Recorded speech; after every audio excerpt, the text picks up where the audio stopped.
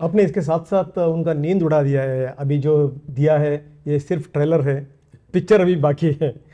क्या क्या रह सकता है पिक्चर ऐसा है कि वो नींद उनको उड़ने का कारण नहीं है।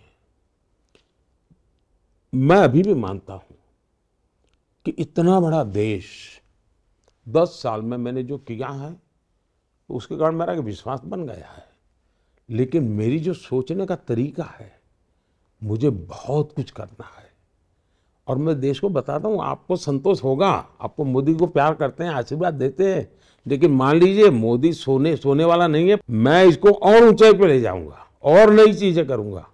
और मुझे दुनिया में हिंदुस्तान का जय जयकार करना है जी।